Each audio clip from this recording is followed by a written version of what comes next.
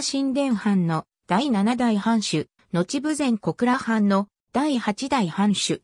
小笠原家、宗家9代。専属藩主時代の名乗りは、小笠原貞義。小倉神殿藩5代藩主、小笠原貞則の4男。江戸にて誕生。幼名は、直行神。嘉永4年5月2日、兄、定賢の死去により、末期養子として家督を継いだ。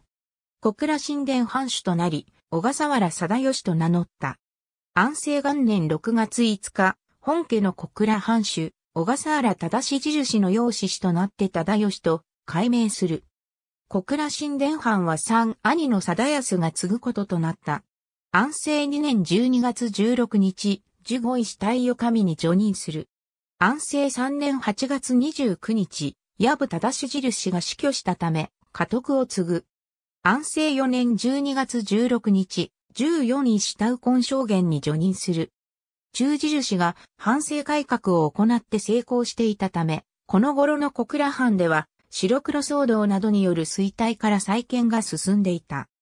忠義の知性では、食産工業政策が推し進められ、軍備も充実し、金山開発を再興し、薬剤を独自に開発して、それを領民に無料で処方するなど、さらに反省の再建が進んだ。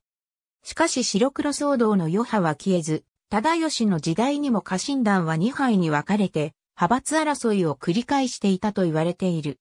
万延元年6月25日、22歳で死去し、一族の安主藩主、小笠原定官が後継ぎに迎えられた。ありがとうございます。